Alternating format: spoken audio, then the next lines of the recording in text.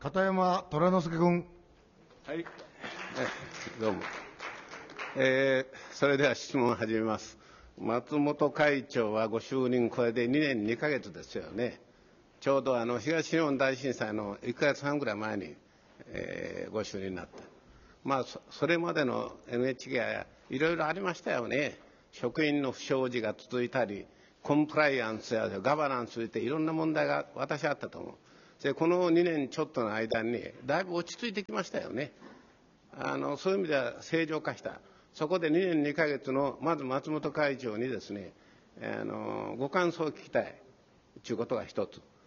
ですよ。そういう状況になった中で今回その私どもがいろいろ側分すると松本会長のイニシアチブで職員給与を5年間で10%下げるんですかそういうことをおやりになっていろんな今日あのご議論があのありましたようにね今はまあどっちかと上げようちゅうんですよ流行は。そういう時にまあ関連として下げられるっていうのはこれは会長のそれなりのお考えがあったに違いないんでそれはどういうその観点でのご発想なのかそれも合わせてまずお伺いたいと思います松本会長。えー、NHK はあの平成16年頃に不祥事の問題がありました。で、その後、あの、福地会長になられて、えー不祥事の問題については、かなりいろんな手を打たれて、あの、いろんな仕組みとかそういうものが改善されてきているというふうに思います。あの、不祥事について、不祥事とかそういうリスク管理については、結構落ち着いた形になっているのではないかというのが、あの、印象でございます。えーあと、あの、3月11日のあの大災害がありましたけれども、あの、あれにあの関して思うことは、やっぱり NHK の放送機能を、災害機能をすごく強くしないといけないと、こういうふうに思いました。そのことは今やっております。えーそれから、まあ、値下げの問題については、これはもう所要の条件ということなので、これをあの引き継いだ管理あのその経営者として、その間違いなくきちっとやると、その際には、経営計画の中に示されていた前提条件、そその後の変化というのをきちっとと取り入れてえーやるということをあのやるつもりで、それをあの整理いたしました。それから、えーあと、やはりあの一番大事なのは、公共放送 NHK を日本の中で将来ともきちっとした形で、えー健全な形で、えー維持をしていくと、そのために一番大事なのは何か、それはやはり、えー放送法の原点に基づいて、これは公共放送の原点だと思いますけど、それできちっとした座標軸、門構えを作って、そして、えー公共の福祉というか、あの国民に、有用な放送機関となって続けていくと、こういうことだというふうに思いました。まあ、そういう観点からあやっております。それから、今度の給与改正についても、えー安定的、持続的な NHK の職員の制度、そして意欲がそこから出てきて、質のいい放送ができるということのために、これをやっていこうということで、これは私だけがあのやると言ってもやれないので、えーみんなで役員全体で議論して、で議論の上でこの方向でいこうと、こういうことで進めておるところでございます。片山虎之助君。まあ、しかしかなりその理解力のある役員さんが揃われたんですよね。やっぱりその NHK の給料が高いか安いかって、これは議論ありますよ。しかしね、まあ、こういう時に私はお酒になることがいかがかなと、こういう感じもやや持つもんで、まあ、それは今後の実績でどういう形でそれがね、どういう影響があるかということだと思います。今言われたように公共放送というのはいいろんな面がありますけれども一つはね国民の受信料で支えられているということなんですよ。で私はもう毎回受信料のことを言ってんだけれども、えーやっと今73%でしょ？あのー、24年度が。で25年度の目標が74だって言うんですよ。プラス1%なんですよ。安倍さんだってインフレターゲットは2%ですよ。日銀が1%だったやつをね、やかましく言って、まあ脅かしたとは言わないけれども、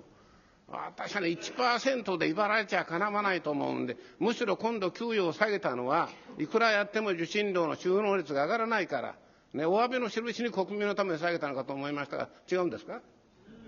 松本会長。あの実際に NHK の受信料をですね営業の人が中心になって集めている形を見ますと、これはあの1%上げるのはもう並大抵ではございません。それはあの一軒一軒、例えばマンションだと開かないわけですよね。そこをあのあっていただくということをして、えーそしてその話をすると。で、本来、これはあの法律で決められていることなので、守らなければいけないことなんですけども、実態がそういう場合、部分がわからないというところがありますので、例えばマンションですと、マンションの管理者の方に、あの防犯の防あの防災の形のですねノウハウのある人が NHK にいますからその人を連れて行ってあのマンションの方にそういう話をするということで集まっていただいて門戸を開いていただいてそこで話をした後あのあるいは放送を見せた後そういう話をするとかですねそういう一つ一つの組みあの積み上げでやっているということがありますのでそう簡単に1%っていうのは上がらないと思います。しかしあのやっていかないとトータルとしてのあの収支とかあるいは将来にやっていくべき災害対策とかセンターの設立ができませんのでこれは絶対にやるということでやるためには全員野球でやるということをテーマにして今やってるわけです。片山虎之助君。努力していることは私認めますよ。まあそれから上がってることは事実ですよ。ただねなかなか我々が言う荒っぽい手をお使いになるのがおいやらしい例えば行政処分です。あるいは罰則の適用なんですよ。よその国はかなりやってんだから。私は固定化してるんじゃないかと思いますよ。払わない連中は。このまま来たんだから。ねに73%じゃ27%払わない人がおるっていうことなんです。ね25年度は1%上がっても26%はおるっていうことなんですよ。払う人と払わない人は不均衡じゃないですか。私は切ったから余計そういうことを感じるのかもしれないけど毎回言ってる。まあ努力は認めますよ、いろんな訴訟を起こされたりいろんなことをおやりになってるけどももう少し上げていただきたいと思いますがいかがですか？松本会長え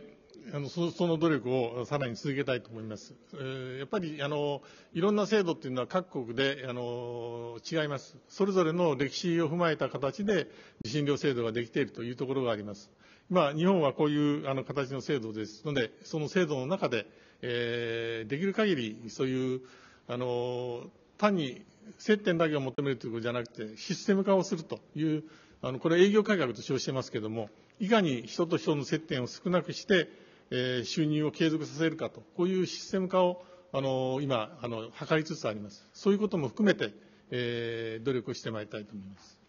片山虎之助君。それからね国際放送なんですよ。これも私は昔からずっと言っておりましてね平成18年に政府与党のこの覚書中合意っていうのをやりましてねとにかく国際放送もっとやらなきゃダメだと。日本はいろんな意味で国際的に地位が下がるっていうんでね子会社を NHK に作ってそこに委託していろんなことをやらせようと。民間も入れようと。国の補助金も入れようと。こういう仕組み作ったんですよね。まあ、あのだんだん聞きますとね活動が広がっていてあの合同系の至りですけれどもまあどなたかが質問があったけれどもね外国に行くとねなかなかお目にかからない。まあその日本人がよく行くねその外国のホテルで我に見れないんですよね。あ私不思議でしょうがない。どういう進め方をしてるかっていうのが一つと特に営業体制がどうなってるの売り込みそういうものを使わせるっていうあれどうぞ清水理事あの受信環境の整備については、この4、5年ですね、特に力を入れて取り組んできた分野でありまして、今、あの2億5000万世帯に広がりましてですね、これ大体この4年間で90倍以上に増えました。それからホテル、ホテルについてはですね、今あの、アメリカとアジアでですね、大体、えー、34万室余りでですね、出張可能となっています。あのこれから北米ではですね、さらに、えー、現地の事情に詳しいえー、NHK の関連会社と連携しまして、配信の強化策を検討してまいりますし、えー、ヨーロッパでもですね、えー、世界の主な国際チャンネルと連携してですね、えー、ホテルに受信を働きかけていきたいと、このように思っております。えー、それからあの、まあ、ホテルのこの受信に対してですね、やはり結構経費がかかりますので、まあ、どこまで受信料を投入できるのかといった問題も一方で出てまいります。えー、従いまして、あの、NHK ワールド TV はですね、あのインターネットでライブストリーミングができるという特徴があります。えー、ほとんどのホテルがネット環境とかありますんで、あの世界中、パソコンでもタブレットでもスマスマホでもですね、ワンプッシュで、いつでもどこでもご覧いただけるという、そういうことも合わせて PR していきたいと、このように考えております片山虎之助君、ね、中国と韓国、本気ですよ、まあ競争しろとは言わないけど、負けないのしてくださいよ、少なくとも。え？よろしくお願いしますよ。そういうね、国際放送の関係で、経営委員長さんがなんか諮問機関をお作りになって、いろいろ議論されてるというお考えのようですけど、どういうことですか、経営委員会としてそういうことをおやりになる。浜田委員長。えー、経営委員会としましてはですね、あの国際放送の充実強化をすることが、結果として日本のプレゼンスの向上、成長戦略に資すると考えて、諮問委員会を設置しております。えー、内容的にはですね、外国人向けの英語による国際放送、NHK ワールド TV はですね、平成20年の4月の放送開始から5年が経過し、受信可能世帯は2億5000万世帯と広がっていますが、あの外国の方々にもっと見ていただきたいという思いから、さらなる充実強化に向けた検討をお願いし、5月をめどに提言をいただく予定になっております。主な諮問内容につきましては、普及促進、子会社、財源の3点でございます。すでに、えー、3回の会合が開かれておりますけれども、諮問委員の方々からですね、示唆に富んだご意見をいただいておるというふうに思っております。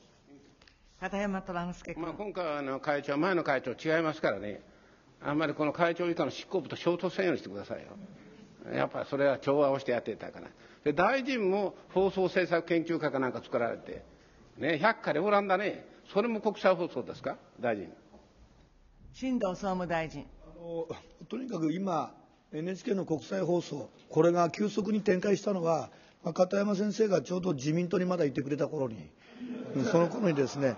あの通信放送産業行動化小委員会、まあ、この枠組みの中で、実はあの在外にいる日本人向けと、それから外国人向けの英語放送を分離しようと、これきっちりここで決めたんですよね。それからあのそのための足腰強くするための子会社作れと。この枠組みがあってですね急速に展開しました。そして5年経って今法律の見直しが来てるということであります。これを受けて私たちはさらに海外展開するためのどういう工夫が必要かとこういうことで今鋭意研究検討させているというところでございます。片山虎之助君。ぜひね国際放送を進めていただきたいと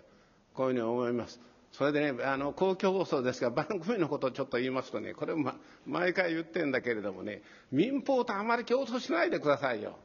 ね、あっちの方はもうね、視聴率ばっかりなんだから。ですよ。やっぱり NHK は NHK らしい公共放送らし番組やるんですよ。硬派の視聴率低くてもいいんですよ。その間長い番組でもいいんですよ。たくさん波を持ってんだから、特色を生かしてね、やってもらいたいと思いますよ。私はもっと硬派の番組を作ったらね。最近ナンパが多すぎる。え？あの、肉食系やってくださいよ。草食系ばっかりじゃなくて。どどうですか？松本会長。あの、中で議論しているのはまさにそういうことでございまして、あの、毎年の編成計画とかいろんなことありますけれども、その中で、えー、今、委員のおっしゃったようなことをあの真剣に議論して、それを実行に移そうと、こういうふうに考えています。やっぱりあの NHK でしかできない、NHK らしい、私は NHK ブランドを大切にすると、こういうふうに言っておりますけれども、そういうことがやはり NHK の存立基盤でもあると、こういうふうに考えております。そういう努力をしたいと思います。片山虎之助君。最近のね、私は日本人の知的レベルは落ちてると思いますよ。私はかなりの分、メディアの責任がある。メディアの筆頭ですから、NHK は。ぜ NHK からパンクを直してね、国民のあれを引き上げてくださいよ。ぜひお願いしたい。それからもう一つね、新放送センターという今のですよ、放送センターは、私は狭すぎるし、古すぎると思いますよ。やっぱりね、日本の大 NHK なら、もっと立派な放送センターがあってもいいんで、私は新しいね、そういう建設構想を持つべきだと思いますよ。お金も若干でもない、かなり溜まってるかもしれませんが、どういう構想をお持ちですか？松本会長。あの NHK で言えば本丸ですし、日本の公共放送の本丸なので、それをあの我々の努力の旗にいたしております。それに向かって走れと、えー、いうことで、えー、努力をいたします。片山虎之助君。